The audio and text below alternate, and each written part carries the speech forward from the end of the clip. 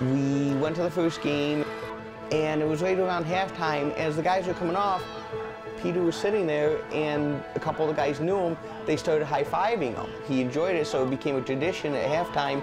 Him, you know, Peter and Philip would high-five the team coming off the field. What started as a halftime high five for the Froelich brothers has taken on a life of its own and turned into them being the biggest football fans in the capital region. My first dream as a father, always when you have a son, is my son's going to be the star quarterback. This is something even cooler than him being the star quarterback. Now it's, you know, he's the, the star fan.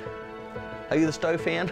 Yeah. They've really never been a part of an athletic team. So for them to actually have this type of reception with the football team, it's, it's like awesome. The brothers, who are 15 years old and 14 years old, both suffer from Duchenne muscular dystrophy and autism, but they're not defined by their disease.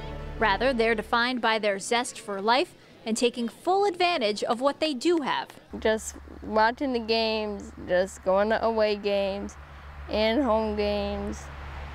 And this is awesome because I like the football team.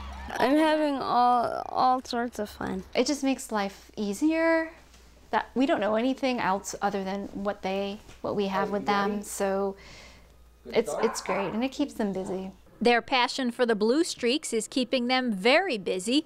The brothers create different hashtags on Twitter each week and make signs for each specific game and, of course, Trash talk. Steamed Shen lobster. on top of that, Peter has his own show called the Saratoga Football Hot Seat, Looks like we have a fast team out there. We're gonna have a great season. And the team truly appreciates the support. They're very important not only to this group, but to last year's group, um, and, and even to the kids down below. I mean, they're such amazing kids, you know, when you, when you talk to them.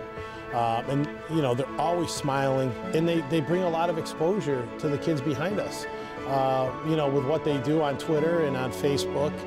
And, uh, and in the school, we always see them when we go on the field, and they're, you know they're the first ones we see when we come off the field, and uh, you know it's great having them around. It's unbelievable. It's kind of hard to put into words, honestly. I mean, it's uh, you know, it's very humbling, and uh, you know, just kind of, it just means a lot to have them right on the sideline each game with their signs. It's uh, you know, it's really cute. So uh, you know, it's awesome to have those guys there, and they're our biggest fans. So it's awesome. The boys are enjoying themselves. They love being part of the team and love spreading their most important message. Live life to the fullest.